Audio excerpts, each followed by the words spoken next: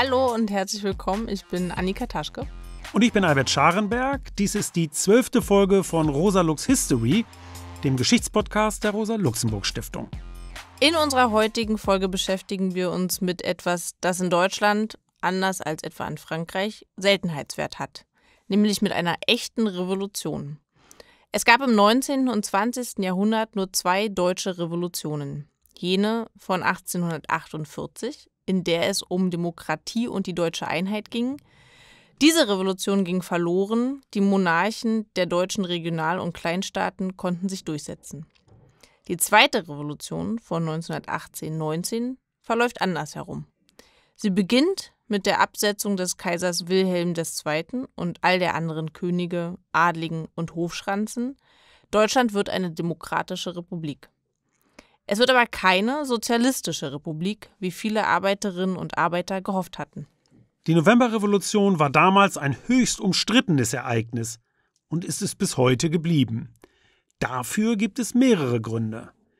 Die radikale Rechte, von den Monarchisten bis zu den Nazis, schuf die Legende, dass die Revolution der Durchstoß gewesen sei, der den angeblich im Felde unbesiegten deutschen Soldaten in den Rücken gerammt wurde. Das hatte zwar mit den Fakten nichts zu tun. Die oberste Heeresleitung selbst hatte um ein Ende des Krieges und die Annahme der harten Waffenstillstandsbedingungen ersucht. Aber diese Lüge, diese Fake News vom angeblichen Durchstoß sollte sich als effektives Agitationsmittel gegen die Demokratische Republik erweisen. Umstritten ist diese Revolution auch deshalb, weil sich in ihrem Verlauf die Spaltung der Arbeiterbewegung und ihrer Parteien SPD und KPD manifestierte. Bevor der Krieg begann, stand man auf derselben Seite. Selbst als die Revolution ausbrach, arbeitete man noch unter einem Dach. Nur wenige Wochen später stand man sich dann jedoch unversöhnlich gegenüber. Und weil die Spaltung zwischen dem sozialdemokratischen und dem kommunistischen Teil der Arbeiterbewegung nicht nur Deutschland, sondern die ganze Welt jahrzehntelang wesentlich beeinflusste, zementierten sich auch die unterschiedlichen Interpretationen der damaligen Ereignisse. Die Novemberrevolution wird auch von Historikerinnen und Historikern unterschiedlich bewertet und eingeordnet. Wurde sie früher auf die Monate zwischen Herbst 1918 und Frühjahr 1919 beschränkt, hat sich inzwischen eine Sicht durchgesetzt, die die Zeitspanne auf den Zeitraum von etwa 1918 bis 1923 datiert. Und in der Tat kommt es selbst nach der Niederschlagung der Aufstände in Berlin, Bremen und München Anfang 1919, als die Revolution im Grunde entschieden ist, noch zu einer zweiten Revolution. Wir wollen uns heute aber vor allem auf den ersten Zeitabschnitt konzentrieren, in dem die Weichen für die Weimarer Republik gestellt werden. Dazu haben wir auch diesmal wieder drei Gäste eingeladen. Den Historiker Dr. Dietmar Lange, der zur Novemberrevolution publiziert hat, die Historikerin Anja Thuns, die an der Humboldt-Universität forscht, und Professor Frank Jakob, der an der Norduniversität im norwegischen Bodø die Geschichte des 19. und 20. Jahrhunderts lehrt. Beginnen wollen wir mit den Ursachen der Revolution. Da ist zuvörderst die Urkatastrophe, wie George F. Kennan den Ersten Weltkrieg einst nannte. Dabei kam es zum Einsatz gänzlich neuer Waffensysteme. Von der Luftwaffe über Panzer bis hin zum Giftgas, dem historisch ersten Einsatz einer Massenvernichtungswaffe, wobei das Deutsche Reich übrigens den unrühmlichen Anfang machte. Die Soldaten liegen in Schützengräben, die Front im Westen bewegt sich trotz des Einsatzes aller Mittel im Grunde kaum. Es muss so grausam gewesen sein. Man schätzt, dass rund 10 Millionen Soldaten im Ersten Weltkrieg ihr Leben ließen. Da sind die Millionen toten Zivilistinnen und die Verwundeten noch gar nicht mitgezählt. Ja, Annika. Und während es auf den Schlachtfeldern Stahlgewitter regnet, ist der Widerstand gegen den Krieg anfangs sehr schwach. Im Deutschen Reich kommt es bei Kriegsausbruch im August 1914 zum sogenannten Burgfrieden zwischen den konkurrierenden Parteien. Kaiser Wilhelm II. kennt keine Parteien mehr, sondern nur noch Deutsche. Die freien Gewerkschaften beschließen einen Streik und Lohnverzicht für die Dauer des Krieges. Und die SPD-Fraktion bewilligt im Reichstag die Kriegskredite. Jene Parlamentarier um Hugo Hase, die sich intern dagegen ausgesprochen haben, unterwerfen sich der Fraktionsdisziplin. Noch am selben Abend des 4. August, unmittelbar nach der Abstimmung über die Kriegskredite, lädt Rosa Luxemburg befreundete Kriegsgegner aus der SPD in ihre Berliner Wohnung ein. Der dort gegründeten Gruppe Internationale, aus der später der Spartakusbund, der Vorläufer der KPD, hervorgeht, gehören zunächst nur sehr wenige Sozialdemokratinnen an. Man kann aus den Briefen, die Luxemburg in dieser Zeit schreibt, die tiefe Frustration erkennen, die der plötzliche Schwenk der SPD bei ihr und anderen auslöst. Die Linken in der SPD fühlen sich verraten und verkauft. Von der Mehrheit um Friedrich Ebert. Und durch die Antikriegsaktionen landen ihre führenden Köpfe, Luxemburg, Karl Liebknecht, Clara Zetkin und andere, bald auch noch im Gefängnis. Je länger der Krieg dauert, Je bestialischer die Kriegsführung wird und je höher die Verluste an Menschenleben sind, desto tiefer wird die Spaltung innerhalb der Sozialdemokratie. 1916 gründen Kriegsgegner deshalb die USPD, die unabhängige SPD, die bei den Streiks im April 1917 und im Januar 1918 eine wichtige Rolle spielt. Hinzu kommen 1917 die beiden russischen Revolutionen, die im Februar den Zaren stürzen und dann im Oktober die Bolschewiki, die russischen Kommunisten, an die Macht bringen. Nach dem deutsch-russischen Separatfrieden von Brest-Litovsk hofft die oberste Heeresleitung noch einmal auf einen Siegfrieden. Aber es ist, wie sich bald zeigt, bereits zu spät. Deutschlands Griff nach der Weltmacht scheitert. Die zweite Hauptursache der Revolution liegt in der Struktur des Deutschen Kaiserreichs und hier vor allem in der Reformunwilligkeit und Unfähigkeit der monarchistischen Eliten. Darüber haben wir im Podcast bereits gesprochen. Gerade in der zweiten Folge, die Bismarck bereits im Titel trägt. Wichtig festzuhalten bleibt aber, dass der Kaiser und seine oberste Heeresleitung bis zuletzt an den verkrusteten Strukturen festhalten. Und dieses Klammern an die Macht, bis zur letzten Patrone, wenn man so will, wird dann zum Auslöser der Revolution. Und zwar in Form des Flottenbefehls der Seekriegsleitung vom 24. Oktober 1918. Dieser Befehl sieht vor, die deutsche Hochseeflotte in eine letzte Schlacht gegen die britische Royal Navy zu entsenden. Trotz der bereits feststehenden Kriegsniederlage Deutschlands. Ein echter Kamikaze-Befehl, den die Matrosen verständlicherweise nicht befolgen wollen. Der Matrosenaufstand beginnt ausgerechnet in der nach dem Kaiser benannten Stadt Wilhelmshaven. Dort kommt es in der Nacht vom 29. auf den 30. Oktober zu ersten Befehlsverweigerungen einiger Schiffsbesatzungen, die ein Auslaufen der Flotte zu verhindern suchen. Daraufhin wird das Geschwader nach Kiel zurückbeordert. Auf hoher See werden die Redelsführer des Aufstands verhaftet und nach der Ankunft in Kiel arretiert. In Kiel versuchen die Matrosen und Heizer, ein erneutes Auslaufen zu verhindern und die Freilassung ihrer Kameraden zu erreichen. Nach einem Aufruf des Matrosen Karl Artelt und des Werftarbeiters Lothar Popp versammeln sich unter der Losung Frieden und Brot tausende Matrosen und Arbeiter. Als dann ein Leutnant den Befehl erteilt, auf die Menge zu schießen, kommt es zum Gefecht. Sieben Personen werden getötet. Dieses kurze Gefecht gilt als der Beginn der Revolution.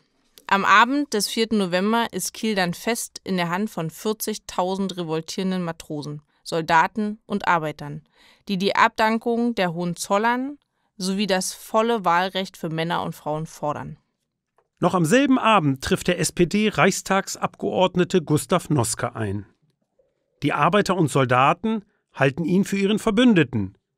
Doch Noske selbst strebt in eigenen Worten danach, Zitat, der Meuterei, die ich persönlich aufs schärfste verurteile, ein Ende zu machen. Was Noske aber nicht verhindern kann, ist, dass die Revolution sich anschließend wie ein Lauffeuer ausbreitet. Die Matrosen und Arbeiter aus Kiel tragen die Revolution in die Großstädte des ganzen Landes. Auf einmal geht jetzt alles ganz schnell. Wie morsch das Kaiserreich ist, zeigt sich daran, dass die Revolutionärinnen bei der Übernahme der Macht fast nirgendwo auf Widerstand stoßen. Am 6. November übernimmt ein Arbeiter- und Soldatenrat die Kontrolle Wilhelmshavens. Am 7. November folgen alle größeren Küstenstädte sowie Frankfurt am Main, Hannover, Braunschweig, Stuttgart und München. Dort wird am selben Tag als erster deutscher Bundesfürst König Ludwig III. von Bayern gestürzt. Kurt Eisner von der USPD ruft die Republik aus und wird vom Münchner Arbeiter- und Soldatenrat zum bayerischen Ministerpräsidenten gewählt. Am 9. November ziehen in Berlin bereits vormittags Hunderttausende Menschen ins Stadtzentrum. Der Reichskanzler Maximilian Alexander Friedrich Wilhelm Prinz und Markgraf von Baden muss feststellen, dass selbst die bis dahin zuverlässigsten Regimenter keine Befehle mehr befolgen. Daraufhin erklärt er, Zitat, Der Kaiser und König hat sich entschlossen, dem Throne zu entsagen. Das stimmt zwar nicht, Wilhelm stemmt sich bis zuletzt gegen den Machtverzicht, schafft aber Fakten. Deutschland wird eine Republik.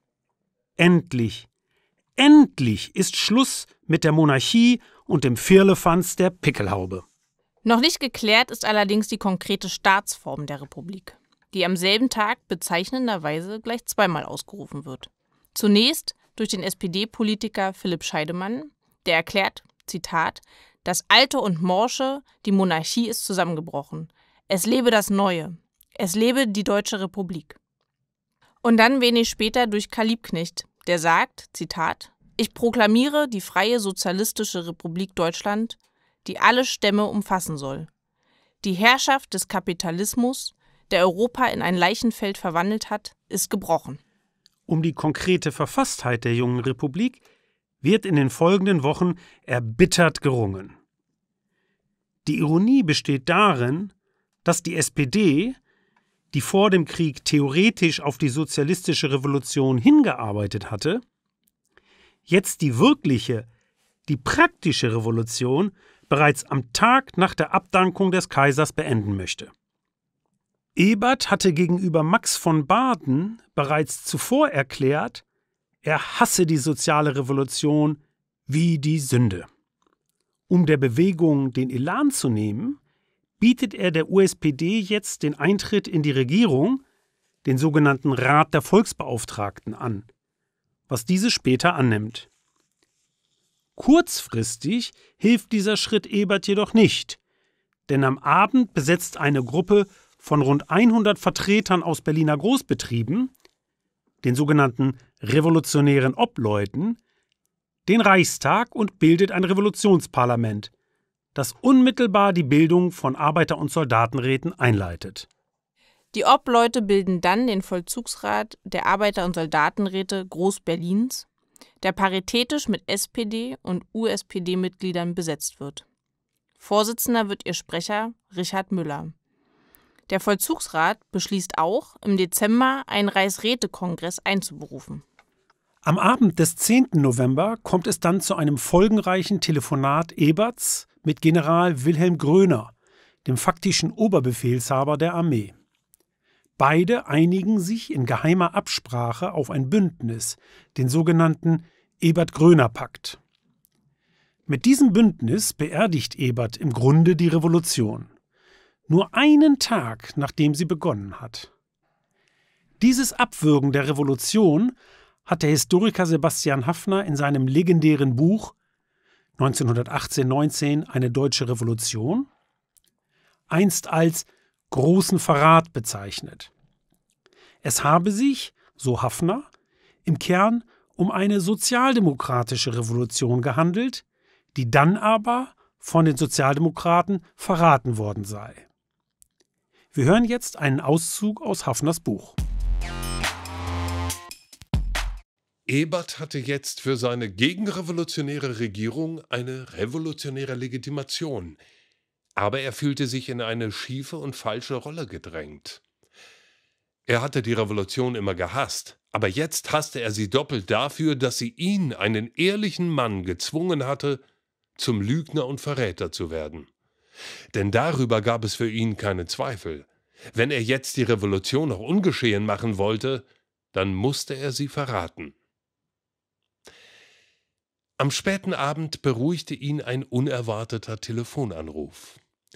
Er kam auf einer Geheimleitung, von deren Existenz Ebert bis dahin gar nichts gewusst hatte. Spa war am Apparat, die oberste Heeresleitung General Gröner. Endlich wieder ein anständiger Mensch, mit dem man vernünftig reden konnte.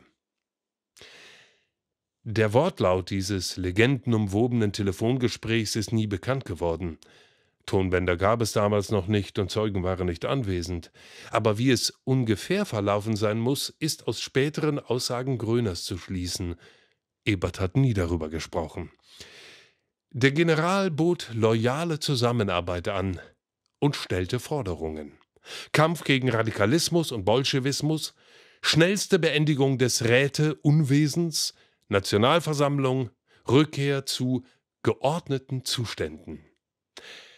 Dem allen konnte Ebert aus vollem Herzen zustimmen. Es war genau das, was er selber wollte. Er muss Gröner sein Herz ausgeschüttet haben, denn Gröner notierte später, dass Ebert sich nach dem Eindruck dieses Gesprächs nur mühsam am Steuer hielt und nahe daran war, von den Unabhängigen und der Liebknechtgruppe über den Haufen gerannt zu werden. Offenbar stand er noch ganz unter dem Eindruck der turbulenten Versammlung, die er gerade hinter sich gebracht hatte. Zum Schluss dankte Ebert dem General. Der Reichskanzler dem General, nicht umgekehrt. Gröner hat später von einem Bündnis gesprochen, das er an diesem Abend mit Ebert geschlossen hätte. Es war ein Kampfbündnis gegen die Revolution, von der sich Ebert wenige Stunden vorher hatte auf den Schild heben lassen. Ebert ging auf meinen Bündnisvorschlag ein, schreibt Gröner. Von da ab besprachen wir uns täglich abends auf einer geheimen Leitung zwischen der Reichskanzlei und der Heeresleitung über die notwendigen Maßnahmen. Das Bündnis hat sich bewährt. Der geheime Ebert-Gröner-Pakt stellt die Weichen für die Republik. In der Folge lassen Ebert und die SPD die Initiative der ihnen gewogenen revolutionären Massen immer wieder ins Leere laufen. Sie hintertreiben damit gewissermaßen, so Hafner, ihre eigene Revolution. Ja, leider, Albert. Denn dieser Pakt trägt den Keim der Selbstabschaffung der Republik bereits in sich. Nämlich, dass die junge Republik allzu schnell ihren Frieden macht mit den Eliten des Kaiserreiches. Auf diese Weise bleiben die Staatsapparate, bleiben Verwaltung, Justiz, Militär, Bildungswesen fest in der Hand der demokratiefeindlichen kaiserlichen Bürokratie. Diese wiederum wird dann anderthalb Jahrzehnte später wesentlich zur Machtübertragung an Hitler beitragen. Also Verrat hin oder her, hier jedenfalls liegt der Kardinalfehler der Sozialdemokratie in der Novemberrevolution. Der anarchistische Schriftsteller Erich Mühsam, der an der Münchner Räterepublik beteiligt war, hat dem Agieren der Sozialdemokratie in der Revolution ein bitterböses Gedicht gewidmet. Es heißt Der Revoluzer und wird jetzt vorgetragen. War einmal ein Revoluzer im Zivilstand Lampenputzer, ging im Revoluzerschritt mit den Revoluzern mit. Und er schrie: Ich Revoluzer! Und die Revoluzermütze schob er auf das linke Ohr kam sich höchst gefährlich vor. Doch die Revoluzer schritten mitten in der Straße mitten, wo er sonst unverdrutzt alle Gaslaternen putzt. Sie vom Boden zu entfernen, rupfte man die Gaslaternen aus dem Straßenpflaster aus, zwecks des Barrikadenbaus. Aber unser Revoluzer schrie ich bin der Lampenputzer dieses guten Leuchterlichts. Bitte, bitte, tut ihm nichts. Wenn wir ihn das Licht ausdrehen, kann kein Bürger nichts mehr sehen. Lass die Lampen stehen, ich bitt. Denn sonst spiel ich nicht mehr mit. Doch die Revoluzer lachten und die Gaslaternen krachten und der Revoluzer schlich fort und weinte bitterlich. Dann ist er zu Haus geblieben und hat dort ein Buch geschrieben, nämlich Wie man revolutzt und dabei doch Lampen putzt.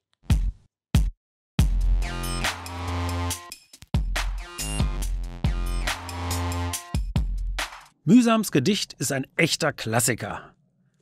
Aber so weh es auch tut, man darf nicht vergessen, dass auch die Gewerkschaften hinter Ebert und der SPD stehen. In den ersten Tagen der Revolution treffen sich daher Gewerkschaftsführer um Karl Legin, den Vorsitzenden der Generalkommission der Gewerkschaften Deutschlands, mit Vertretern der Großindustrie unter Hugo Stinnes und Karl Friedrich von Siemens.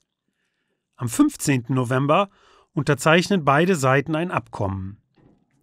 Die Gewerkschaftsvertreter sagen zu, den Einfluss der Räte zurückzudrängen und für den geordneten Produktionsverlauf zu sorgen. Die Unternehmervertreter erkennen im Gegenzug die Einführung des Acht-Stunden-Tages und den Alleinvertretungsanspruch der Gewerkschaften an. Außerdem wird unter anderem vereinbart, sogenannte Arbeiterausschüsse zu bilden, die Vorläufer der späteren Betriebsräte. Man kann das kritisieren, zumal mit Blick auf den Zeitpunkt. Aber die Gewerkschaften haben damit auch vieles von dem erreicht, was sie zuvor seit Jahrzehnten vergeblich gefordert hatten. Der sechsköpfige Rat der Volksbeauftragten hebt dann am 12. November den Belagerungszustand und die Zensur auf, schafft die Gesindeordnung ab und führt das allgemeine Wahlrecht ein. Damit wird in Preußen das Dreiklassenwahlrecht abgeschafft und in ganz Deutschland das Frauenwahlrecht eingeführt. Am 21. November setzt der Rat der Volksbeauftragten auf Druck der USPD-Mitglieder auch eine Sozialisierungskommission ein, deren Arbeit allerdings keinerlei konkrete Ergebnisse hervorbringt und im April eingestellt wird. Ja, okay, aber das ist zu dieser Zeit so natürlich noch nicht abzusehen. Im Gegenteil, die Arbeiter- und Soldatenräte übernehmen vielerorts die Kontrolle, lösen etwa in Bremen, Hamburg, Leipzig, Chemnitz und Gotha die Stadtverwaltungen auf, verhaften in Braunschweig, Düsseldorf, Mülheim und Zwickau alle kaisertreuen Beamten und bilden in Hamburg und Bremen gar Rote Garden, die die Revolution schützen sollen. Insgesamt aber wird die Mehrheit der Räte von Sozialdemokraten geführt, die sich allzu schnell, wie du ja bereits gesagt hast, Annika, mit der alten Verwaltung arrangieren. Es dauert nicht lange, bis die Auseinandersetzungen zwischen den beiden Flügeln der Revolution, den Gemäßigten und den Revolutionären, sich zuspitzen. Schon am 6. Dezember eröffnet die Berliner Polizei das Feuer auf eine Demonstration. 16 Menschen sterben. Dieser Zwischenfall vergiftet die Atmosphäre zwischen dem Spartakusbund und der SPD nachhaltig. Vom 16. bis 21. Dezember tagt dann im Gebäude des preußischen Abgeordnetenhauses der Reichsrätekongress. Dieser Kongress steckt in einem Widerspruch fest. Zum einen versammeln sich hier die Arbeiter- und Soldatenräte der Republik. Zum anderen sind die Mehrheit der 489 Delegierten Sozialdemokraten, die für eine parlamentarische Republik eintreten. Nur rund 100 Delegierte vertreten die USPD, darunter lediglich zehn Spartakisten. Es gibt zehn Syndikalisten und unter allen Delegierten nur zwei Frauen. Angesichts dieser Mehrheitsverhältnisse nimmt es nicht Wunder, dass der Antrag, das Rätesystem zur Grundlage der Verfassung zu machen, mit 344 zu 98 Stimmen abgelehnt wird. Noch größer ist die Mehrheit beim Antrag, die Wahl der Nationalversammlung am 19. Januar abzuhalten. Ein geschickter Schachzug der SPD, die die Revolution möglichst rasch beenden will. Angesichts dieser Beschlüsse sind die Linken enttäuscht. Richard Müller nennt den Kongress einen politischen Selbstmörderclub.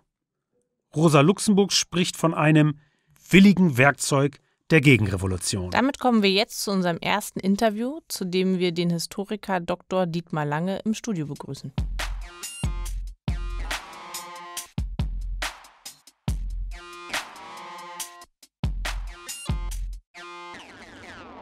Hallo Dietmar. Hallo. Hallo auch von mir. Du hast ja zur Novemberrevolution und zur Rolle und Bedeutung der Räte gearbeitet. Könntest du kurz erläutern, wer die revolutionären Obleute waren? Welche Rolle spielten sie vor und während der Revolution der Jahre 1918-19? Ja, also die revolutionären Obleute, das ist ähm, ein lange Zeit eher weitgehend vergessener Akteur der Revolutionsgeschichte gewesen, aber ist ähm, nichtsdestotrotz ein sehr zentraler Akteur. Also es war insofern auch keine wirkliche Organisation, sondern es war eher ein Netzwerk von Betriebsvertrauensleuten, insbesondere in der Metallindustrie und damit auch in den kriegswichtigen Betrieben. Und die haben äh, mit Fortdauer des Krieges sich äh, mehr und mehr dann gegen die Burgfriedenspolitik ihrer eigenen äh, Gewerkschaftsvorstände gewandt. Und da entwickelt sich aber schon bald Widerstand, vor allem in den Betrieben. Zunächst geht es eher um Lohnfragen, weil die Lebensmittelsituation wird, wird schlechter und ähm, auch die Löhne werden eingefroren. Und da gibt es schon erste Streiks im 1915 bereits. Und dann aber schnell nimmt das auch eine politische Dimension an. Und es gibt große Massenstreiks während des Ersten Weltkrieges, die dann eben insbesondere von den Obleuten organisiert werden, also ein bisschen sozusagen, oder nicht nur ein bisschen, sondern an den Gewerkschaftsinstanzen vorbei. Das ist ähm, 1916 bereits ein Massenstreik äh, mit 55.000 Beteiligten gegen eine Verurteilung von Karl Liebknecht. Dann 1917 gegen die schlechter werdende Lebensmittelsituation und 1918 der große Januarstreik mit dann schon 500.000 Beteiligten und auch einem ersten Arbeiterrat, der da gewählt wird als Streikleitung und ähm, da dann auch schon politischen Forderungen nach Friedensschluss und Demokratisierung. Und dieser Januarstreik, der wird dann von den Obleuten auf seinem Höhepunkt abgebrochen, weil die merken, wenn man das jetzt steigert, dann eskaliert das Ganze in einen militärischen Konflikt, äh, für den sie nicht vorbereitet sind. Und stattdessen fangen sie dann an, eben in der Folgezeit äh, sich Waffen zu besorgen und äh, tatsächlich dann auch eine bewaffnete Erhebung vorzubereiten.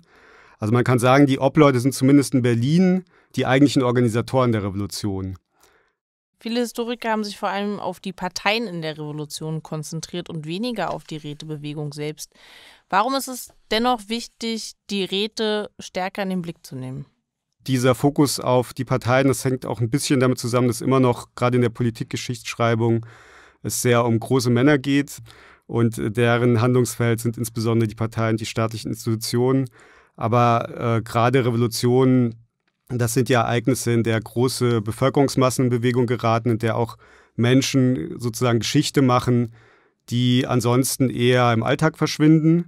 Und deren Organisationsform, das waren eben in dem Fall die Räte, aber das kann man auch in anderen ähm, Revolutionen ja beobachten, das sind dann oft so lokale Formen der Selbstorganisation, also wo die Leute quasi ähm, zusammenkommen, meistens so versammlungsdemokratische Formen, basisdemokratische Organisationsformen und wo sie dann ihre Geschicke in die eigene Hand nehmen.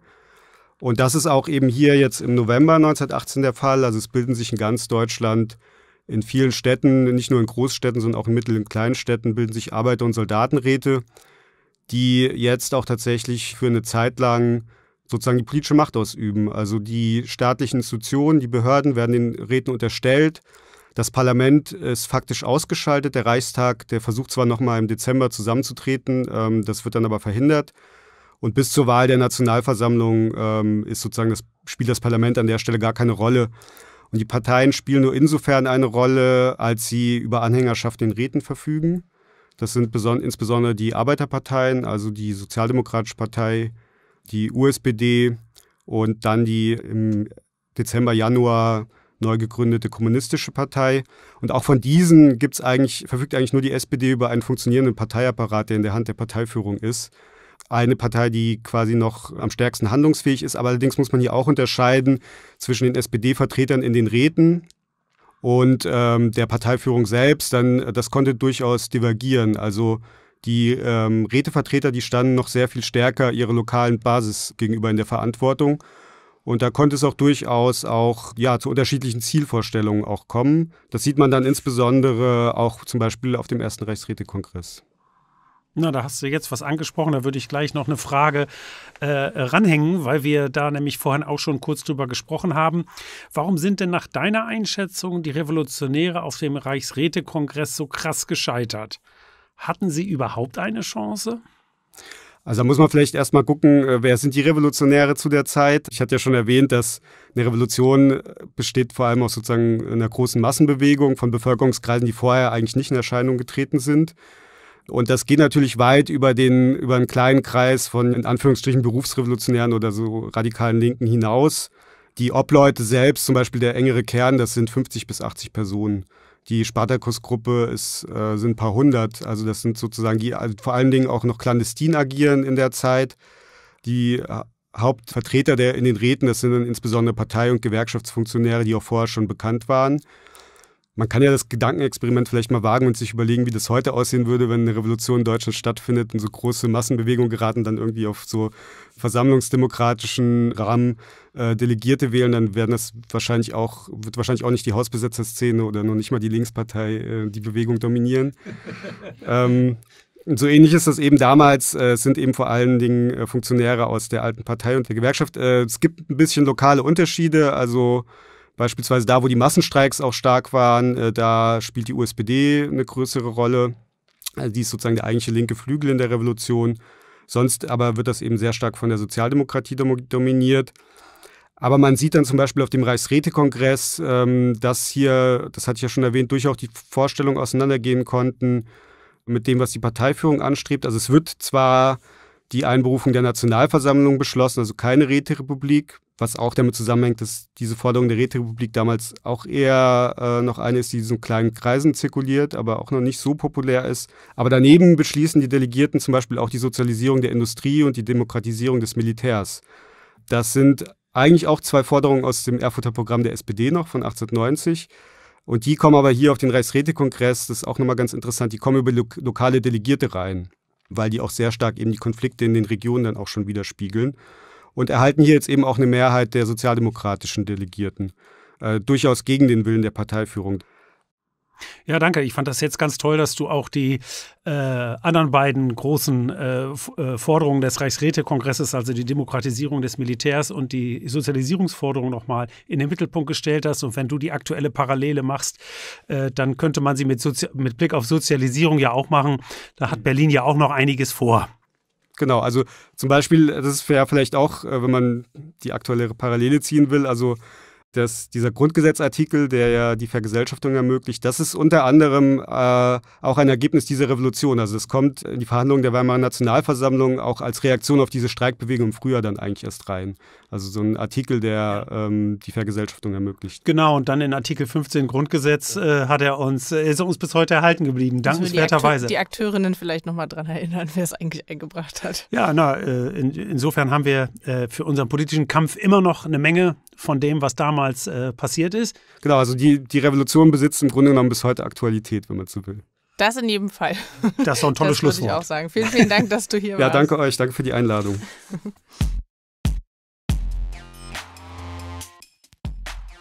Nur wenige Tage nach dem Reichsrätekongress meutern die Matrosen der mit dem Schutz der Übergangsregierung betrauten Volksmarinedivision. Sie besetzen die Reichskanzlei, kappen die Telefonleitungen, stellen den Rat der Volksbeauftragten unter Hausarrest und nehmen den Stadtkommandanten Otto Welz als Geisel. Ebert, der über eine geheime Telefonleitung mit der obersten Heeresleitung in Kontakt steht, gibt am Morgen des 24. Dezember den Befehl, das Schloss mit regierungstreuen Truppen anzugreifen. Dieser Angriff scheitert, 56 Regierungssoldaten, elf Matrosen und mehrere Zivilisten verlieren dabei ihr Leben. Die USPD-Vertreter machen Ebert für die Toten verantwortlich, sprechen von Eberts Blutweihnacht und verlassen am 29. Dezember den Rat der Volksbeauftragten. Am selben Tag beginnt in Berlin der Gründungsparteitag der KPD, in der die Mitglieder des Spartakusbundes, die sogenannten Bremer Linksradikalen und die internationalen Kommunisten Deutschlands sich zusammenschließen. Die Kommunistische Partei hat allerdings das muss man betonen, zu diesem Zeitpunkt noch wenig mit den russischen Bolschewiki gemein. Die wachsende Einflussnahme Moskaus, die vor allem über die kommunistische Internationale erfolgt, ist späteren Datums. Zum Leidwesen Luxemburgs und Liebknechts beschließt die KPD, die Wahlen zur Nationalversammlung zu boykottieren. Ja, es geht Schlag auf Schlag, was ja durchaus typisch ist für eine revolutionäre Situation. Anfang Januar entlässt die nunmehr nur noch aus Sozialdemokraten bestehende Regierung den Polizeipräsidenten von Berlin, Emil Eichhorn, der sich in der Weihnachtskrise geweigert hatte, gegen demonstrierende ArbeiterInnen vorzugehen. USPD, Revolutionäre Obleute und KPD rufen daraufhin zu einer Protestaktion auf. Was als Demonstration geplant war, entwickelt sich zu einem Massenaufmarsch. Wie am 9. November strömen am 5. Januar 1919 Hunderttausende ins Zentrum Berlins, darunter auch viele Bewaffnete. Am Nachmittag besetzen sie die Berliner Bahnhöfe sowie das Zeitungsviertel mit den Redaktionsgebäuden der bürgerlichen Presse und des Vorwärts. Die Initiatoren der Demonstrationen wählen einen provisorischen Revolutionsausschuss. Liebknecht fordert den Sturz der Regierung und schließt sich der Mehrheitsmeinung im Ausschuss an, die zum bewaffneten Kampf aufrufen will. Rosa Luxemburg hingegen hält, wie die Mehrheit der KPD-Führer, einen Aufstand zu diesem Zeitpunkt für falsch und stellt sich gegen Liebknecht. Ein Teil der revolutionären Obleute beginnt, sich zu bewaffnen.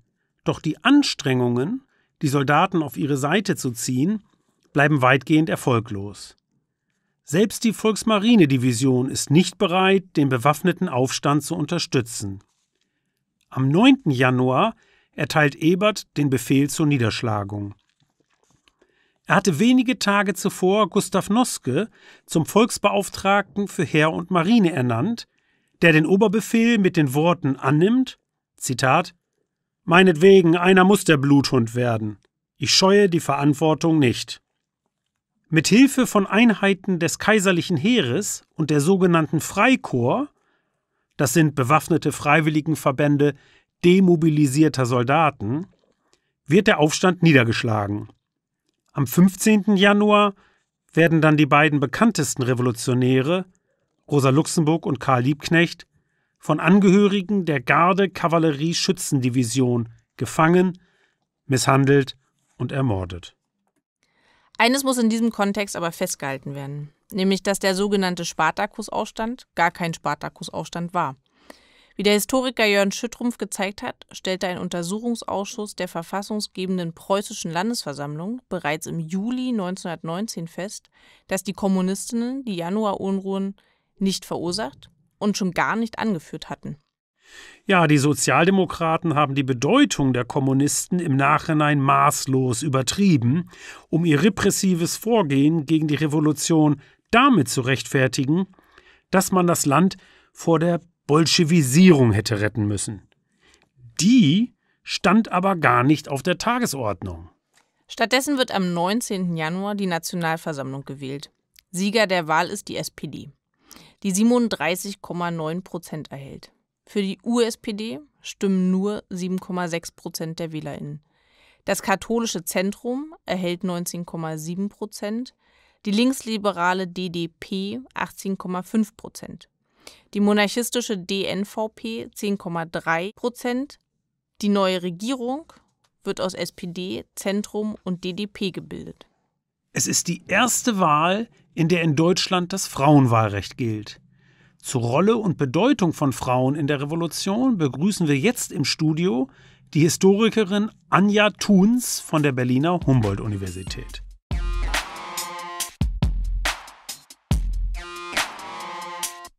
Hallo Anja. Hallo. Schön, Hallo. dass du bei uns ins Studio gekommen bist. Ähm, ich fange gleich an mit der ersten Frage. Und zwar, die Historikerin Helga Grebing schrieb, dass die Frauen in der Revolution fast überall dabei waren und nicht nur in Berlin. Warum ist denn die Rolle und die Beteiligung von Frauen in der Revolution so wenig erforscht? Ähm, ich glaube, ein wichtiger Aspekt ist, dass es ähm, natürlich schon in diesem Zeitraum 1918, 1919 angefangen wird, über die Revolution zu schreiben und die ersten Deutungen quasi zu veröffentlichen. Und dass dann natürlich eine sehr, sehr lange Zeit ist, wo quasi Männer diese Deutung veröffentlichen können und schreiben und sich dazu äußern können. Ähm, und das sicherlich auch in diesen ja, sozial-politikgeschichtlichen Überblicksbänden, die natürlich schon sehr früh erscheinen, aber auch die neuere Forschung dann begründen, dass da meistens nur ein sehr, sehr kurzer Absatz zur Beteiligung von Frauen steht. Ähm, ein wichtiger Punkt war dann natürlich dieser Beginn der Frauengeschichtsschreibung in den 80er Jahren, wo es ja auch darum ging, ähm, dieses Wirken einzelner Frauen sichtbar zu machen und damit auch die Geschichten vieler anderer namenlos gebliebener Frauen ähm, quasi zu würdigen und diese erstmal aufzuarbeiten. Und leider wurde diese Forschung natürlich heute so ein bisschen als einzelner Zweig der Geschichtsschreibung äh, wahrgenommen und vielleicht nicht unbedingt so integriert in die Revolutionsforschung. Und dann ist sicherlich auch diese Frage natürlich, ähm, wie wird Geschlecht denn definiert? Geht es eigentlich darum, nur zu immer wieder zu wiederholen, äh, Frauen waren sozusagen nur marginal vertreten? Und ähm, oder geht es darum, vielleicht mehr, wo die neuere Forschung vielleicht hingeht, was ist der Aushandlungsfaktor zwischen den Männern und Frauen? Also es geht heute, heute vielleicht eher darum, die Bilder, Wahrnehmung, Praktiken sich anzugucken, was hat Frauen den Zugang vielleicht auch erschwert zu dieser männerdominierten politischen Sphäre und was könnten eben Gründe sein für diese erschwerte Überlieferung. Ja, und weil die Frauen ja vorher auch gar nicht wählen und gewählt werden durften, waren natürlich auch alle politischen Positionen im Grunde schon mit den Männern besetzt. Sieht man mal von Clara Zetkin und Rosa Luxemburg ab. Die kommen natürlich vor, aber alles andere ist dann natürlich schwerer. Ich habe auch noch eine andere Frage, Anja. Ähm, noch ein bisschen äh, zurückblickend, also Vorgeschichte oder wenn man so will, äh, der, der Novemberrevolution. In der Kriegswirtschaft im Ersten Weltkrieg haben ja viele Frauen die Arbeitsplätze der an die Front abkommandierten Soldaten übernommen. Wie hat sich das denn auf Ihr Selbstverständnis ausgewirkt?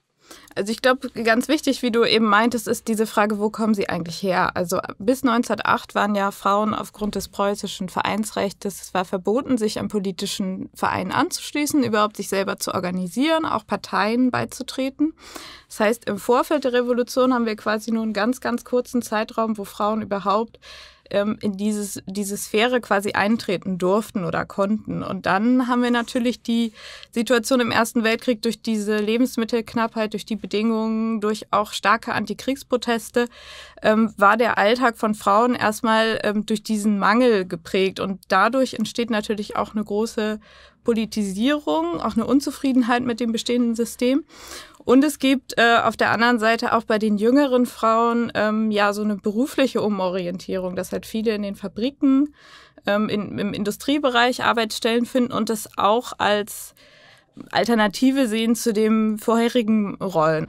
Und dieser Anstieg in der Rüstungsproduktion führte eben dazu, dass halt auch Frauen sich in diesem eher männerdominierten Umfeld betätigen konnten, aber sich eben auch bewähren konnten und dadurch auch ähm, eben an Streiks teilgenommen haben, überhaupt angefangen haben zu agitieren, vielleicht auch im Betrieb eine Rolle, eine Funktion zu übernehmen als Wahlamt. Und auf der anderen Seite haben wir aber natürlich auch ähm, die Möglichkeit dazu, weil viele Männer quasi an der Front sind und so diese Möglichkeit überhaupt erst besteht.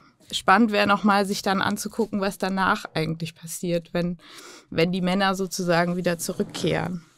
Kann man denn sagen, in der Kriegswirtschaft haben sie andere Rollen und Identitäten auch entwickeln können? Ne? Äh, äh, könnte man dann sagen, dass sie durch die Streiks, äh, die du erwähnst in der Kriegswirtschaft, dass die nochmal so dann als Politisierungsfaktor gewirkt haben?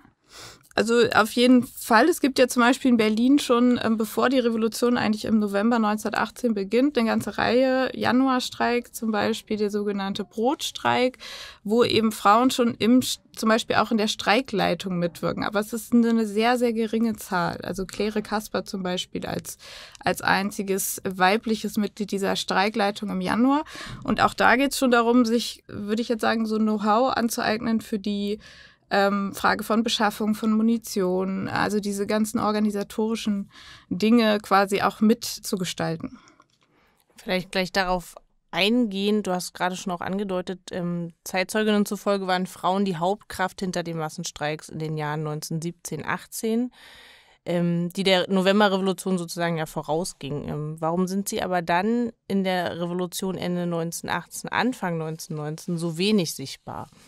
Sicherlich ist dieses Thema der Überlieferung ganz wichtig, dass wir eigentlich ähm, kaum Selbstzeugnisse haben von Revolutionärinnen und auch diese Quellenlage natürlich bei den Dokumenten, bei den Zeitungsberichten, diesen Sitzungsprotokollen auch dürftig ist. Das heißt, man muss sich schon vorstellen, Delegiertennamen sind in der Eile vielleicht fehlerhaft notiert worden. Und dann zu dem Faktor der Erwerbstätigkeit sahen sich die Frauen natürlich mit den Problemen konfrontiert. Einerseits mussten sie sich, würde ich sagen, doppelt bewähren. Also notwendige Charaktereigenschaften wie Selbstvertrauen, Standhaftigkeit für politische Ämter wurde ihnen sicherlich mehr abgesprochen als ihren männlichen Kolleginnen. Und selbst wenn die Frauen in die Räte beispielsweise gewählt wurden, ähm, sobald sie ihre Arbeit im Betrieb verloren haben, weil natürlich sie wieder durch die aus dem Krieg heimkehrenden Vorgänger von ihrem Arbeitsplatz verdrängt wurden, bedeutet dies sowieso auch das Ende ihrer Möglichkeit, sich dort zu engagieren. Das heißt, diese Verdrängung war natürlich damit äh, begründet, dass mit dem Kriegsende alle Frauen, die während des Krieges eingestellt worden sind, fristlos entlassen werden konnten ab November. Und dann auch kein Arbeitslosengeld erhielten. Also so entstand natürlich auch eine wirkliche Konkurrenzsituation zwischen männlichen und weiblichen Arbeitskräften. Und die scheint dann ja doch recht einseitig zugunsten der Männer aufgelöst worden zu sein, oder sehe ich das falsch? Es gibt von Mathilde Wurm, die ja auch eine eher bekannte Frau in der Revolution ist, ein, eine Rede auf der Leipziger Frauenkonferenz, worin sie das Thema aufgreift und äh, sagt, alles verband sich nach Kriegsschluss, um die Frauen herauszudrängen aus den Betrieben. Die Frauen waren zum Teil bereit, zu billigen Löhnen zu arbeiten, nur um im Betrieb zu bleiben.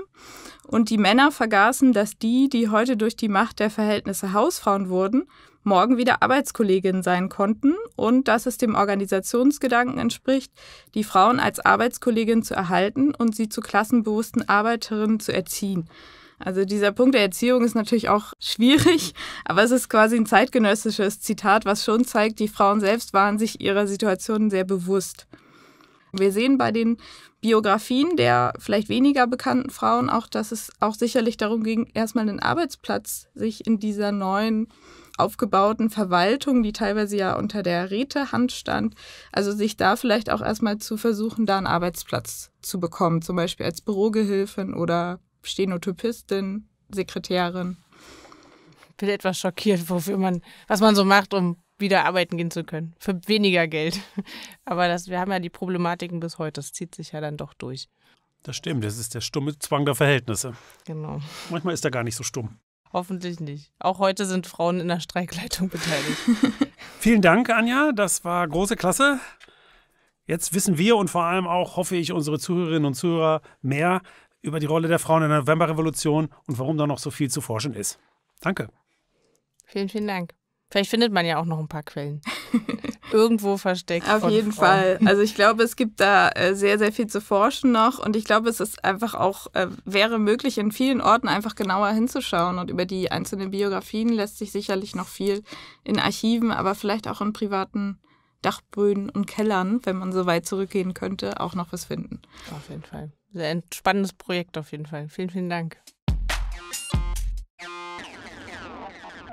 Das Interview hat mal wieder gezeigt, wie viel Arbeit HistorikerInnen noch zu leisten haben, um die Bedeutung der Frauen in der Novemberrevolution dem Vergessen zu entreißen. Da ist noch einiges zu tun. Jetzt möchte ich aber wieder zurückkommen auf die Zeit nach der Wahl zur Nationalversammlung.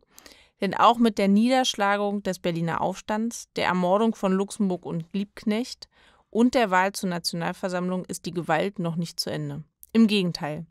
Jetzt kommt es zum regelrechten Bürgerkrieg einem Bürgerkrieg, der vor allem von der Ebert-Regierung geführt wird. Die entscheidet Ende Januar, trotz eines Verhandlungsangebotes der Gegenseite, die Bremer Räterepublik gewaltsam zu beenden. Die folgenden Kämpfe kosten rund 400 Menschen das Leben. Als Reaktion darauf kommt es vielerorts zu Massenstreiks, von denen einige, etwa mit der Sozialisierungsbewegung im Ruhrgebiet, die Revolution weitertreiben wollen. In Berlin setzt Noske erneut Truppen ein, die über 1000 Menschen töten, darunter viele Unbewaffnete und Unbeteiligte. Darüber hinaus kommt es zu gezielten Tötungen von Führern der KPD, darunter auch Leo Jogiches, der Freund und langjährige Partner Luxemburgs. Auch in Hamburg und Sachsen-Gotha kommt es zu bürgerkriegsähnlichen Situationen. Die Münchner Räterepublik hält sich noch bis zum 2. Mai 1919, wird dann aber ebenfalls gewaltsam beendet. Diese Gewaltexzesse bei der Niederschlagung der Revolution sind die dunkle Seite der Novemberrevolution, die in der offiziellen Erinnerungspolitik bis heute eine viel zu geringe Rolle spielt. Eine zu geringe Rolle spielen oftmals auch die Konterrevolutionäre von rechts außen. Mit dieser Form der Konterrevolution hat eigentlich jede Revolution zu kämpfen. In der Novemberrevolution sind da zum einen die rechten Soldaten und die Freikorps, die die Revolution bekämpfen. Zuerst im Auftrag Eberts, aber im März 1920 putschen sie dann im sogenannten Kapp-Lüttwitz-Putsch gegen die Republik.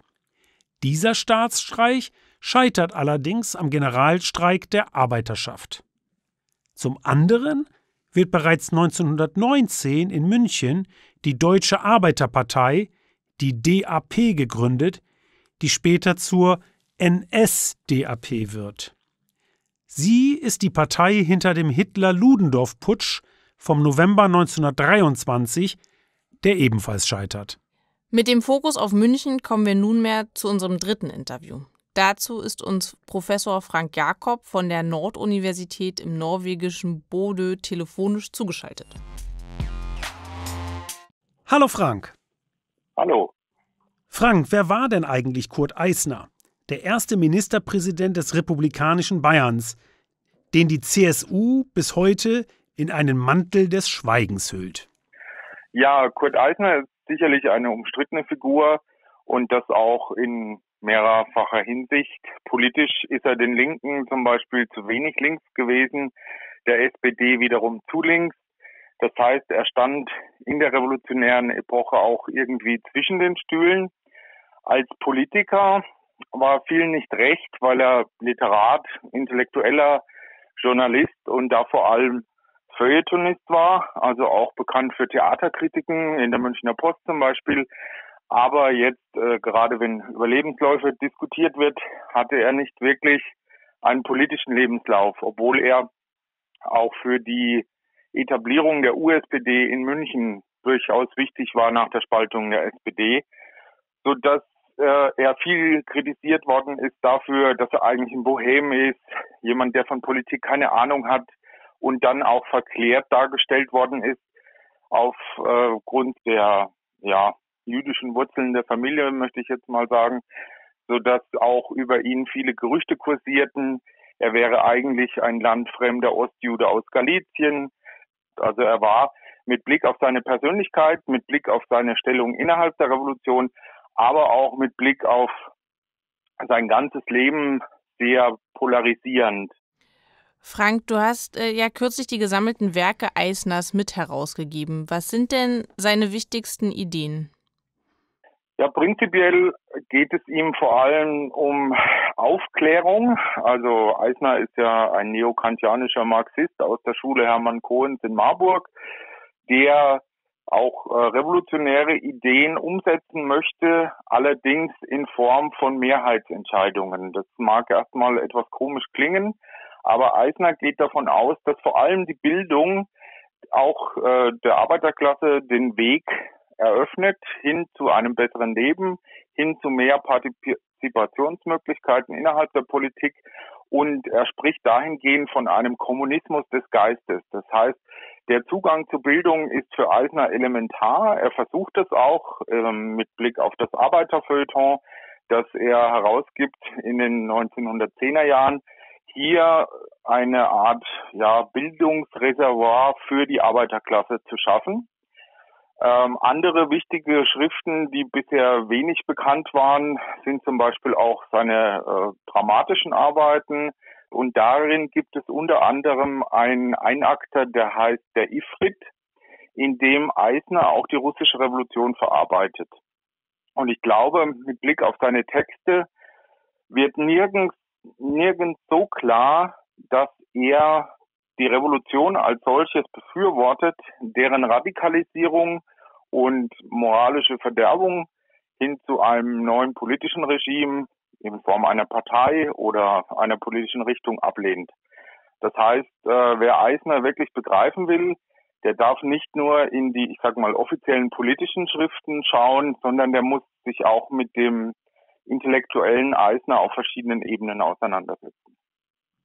Nach der Ermordung Eisners im Februar 1919 formiert sich im April desselben Jahres die Bayerische Räterepublik. Wie würdest du diese denn einordnen? Ja, das ist ja im Prinzip die erste Räterepublik in Bayern und auch äh, die erste der beiden Räterepubliken in Bayern die vor allem von Anarchisten um Erich Mühsam oder Gustav Landauer geprägt wird.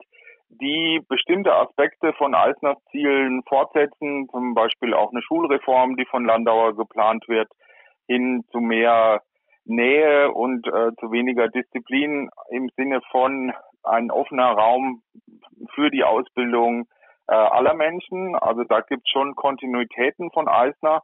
Eisner hat aber ähm, immer wieder auch in seinen äh, Erklärungen darauf hingewiesen, dass Ruhe und Ordnung wichtige Elemente sind, um die Revolution sozusagen zu schützen. Und die Ordnung geht in dieser anarchistischen Räterepublik etwas verloren. Nicht, weil Anarchisten per se gegen Ordnung sind. Also es geht ja um Organisationsformen, die durchaus anarchistisch sind. Hier die Rätebewegung könnte man partiell so beschreiben. Aber ähm, was problematisch ist, ist, dass in diesen Tagen sehr viel, ich sag mal, Unordnung herrscht. Es gibt ähm, verschiedene Kräfte, die hier auch gegen die Räterepublik agieren, sei es äh, von kommunistischer Seite, die auf eine weitere Radikalisierung drängen, sei es von äh, der rechten Seite des politischen Spektrums, wo man versucht, äh, die Räterepublik zu diskreditieren und auch schnellstmöglich wieder abzuschaffen. Aber die Revolution als solche radikalisiert sich dann nach dieser einwöchigen Räterepublik der Anarchisten und Künstler, wie es immer wieder heißt, was fehlte, war Zeit und auch äh, ja die Unterstützung der Bevölkerung mit Blick auf die politische Entwicklung der Zeit. Frank, da vielleicht einhaken, du hast auch über die Revolution jenseits der großen Zentren geforscht. Was ist denn charakteristisch für die, wenn man so will, Revolution in der Provinz? Ja, also ich habe mich vor allem mit Unterfranken beschäftigt und da mit verschiedenen Städten, also Kitzingen, Schweinfurt, Aschaffenburg und Würzburg natürlich und äh, muss sagen, dass es ein sehr diverses Bild gibt. Also das kann man prinzipiell, ich glaube, für viele Teile von Deutschland äh, unterschreiben, dass die jeweilige revolutionäre ja, Energie ähm, umgesetzt werden kann, je nachdem, welche äh, Begebenheiten oder Gegebenheiten im jeweiligen Kontext vorhanden sind. Wenn es keine radikaleren politischen Strukturen gibt, verläuft die Revolution insgesamt etwas ruhiger.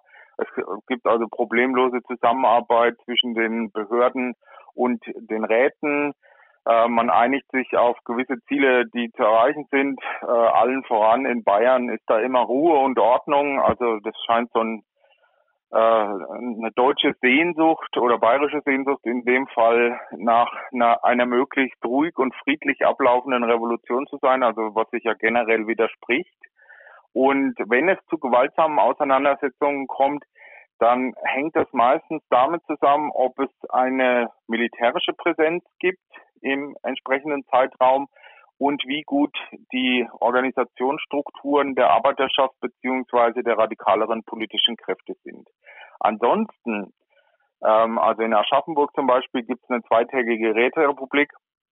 Da kommen Münchner Vertreter hier vorbei, erklären die Räterepublik äh, und fahren wieder ab. Am nächsten Tag sagt das Militär, nein danke, wir unterstützen die Räterepublik nicht. Damit ist sie beendet und das relativ äh, friedlich. Also hier kommt zu keinen Ausschreitungen, wohingegen in Würzburg haben wir dann schon sehr gewaltsame Auseinandersetzungen auch zwischen Militär ähm, und Revolutionären. Also man muss prinzipiell sagen, es gibt sicherlich die große Linie für Deutschland und auch für Bayern. Die lässt sich aber nicht immer eins zu eins auf die lokale Ebene übersetzen. Ja, das ist ja echt spannend. Und wenn du von einer problemlosen Zusammenarbeit zwischen Verwaltung und Räten schreibst, äh, da kann man natürlich schon sehen, wo das Problem liegt im Grunde, ne, für die Revolutionäre, seien sie radikaler oder vielleicht auch nicht, weil äh, ja dann im Grunde natürlich die, äh, die Verwaltung letztlich äh, äh, auch in der Kontrolle der, der Situation bleibt. Genau, also es ist auch immer das Problem der Revolutionärinnen und Revolutionäre ohne Maßen keine Revolution. Es gibt dann immer ähm, die Idee, dass man die Revolution so weit wie möglich vorantreibt, weil man weiß, dass die Konterrevolution beziehungsweise die gemäßigteren Kräfte am Ende versuchen werden, diese teilweise wieder rückgängig zu machen. Also das ist ja auch dieses rosa-luxemburgische Diktum. Und da, ich sag mal, das hat auch Eisner verstanden, der ja dann zurücktreten wollte und auf dem Weg zum Rücktritt quasi äh, erschossen wurde auf der offener Straße Er hat verstanden, dass er ohne Mehrheiten oder ohne den Rückhalt in der Bevölkerung keine Revolution umsetzen kann. Und das widerspräche ja auch seinem Idee oder seiner Idee, dem Idealbild einer Revolution, die mit Zustimmung passiert. Das heißt, äh, die Menschen verstehen aufgeklärter Natur, dass die Revolution in eine bessere Welt führt und unterstützen diese deshalb. Und aufgrund der mangelnden Unterstützung konnte er die Revolution nicht weitertreiben. Ja, wahnsinnig spannend. Und auch wenn man äh, von der Revolution auf heute zu schließen sehr vorsichtig sein muss. Aber dieser Bezug zur Demokratie, der ist da, glaube ich, ganz wichtig. Hast du, glaube ich, toll erklärt, Frank. Vielen Dank dafür. Vielen, vielen Dank. Ich habe zu danken. Vielen Dank. Tschüss. Tschüss. Ja, die Revolution außerhalb der großen Städte ist auch so ein Thema, wo es noch viel aufzuarbeiten gibt. Ja, das stimmt, Annika. Gerade der Blick in die Provinz verdeutlicht nämlich, dass der Einfluss der Radikalen in der Revolution oftmals übertrieben wurde. Ja, aber dennoch wäre die Novemberrevolution ohne die Radikalen, ohne den Druck von links gar nicht so weit gekommen. Das gilt es ebenfalls festzuhalten. Auf jeden Fall. Und immerhin war die Novemberrevolution anders als die Revolution von 1848, zumindest zur Hälfte erfolgreich. Die neue Weimarer Verfassung übernimmt dann auch Ideen der Paulskirchenverfassung des Jahres 1849. Gleichwohl bleiben wichtige Forderungen der Novemberrevolutionäre, wie die Sozialisierung der Montanindustrie und die Demokratisierung des Offizierskorps, ebenso unerfüllt wie die Enteignung von Großbanken, Großindustrie und adligen Großgrundbesitz. Ja, leider, Albert. Und leider sind wir jetzt auch schon am Ende unserer zwölften Folge angelangt. Hinweisen möchten wir noch darauf, dass Sie und ihr diesen Podcast auch abonnieren könnt. Außerdem sind wir auch auf Instagram vertreten als rosalux-history und auf der Webseite rosalux.de finden sich auch Publikationen zur Novemberrevolution, die man kostenlos herunterladen kann. Oh ja, wir bitten darum. Mir bleibt noch der Hinweis auf die nächste, die 13. Folge, in der es um die Geschichte der Sklaverei gehen wird. Wir werden also durch mehrere Jahrtausende Geschichte cruisen und hoffen, dass Sie und ihr wieder dabei sein werdet. Und ob. Tschüss. Ciao, ciao.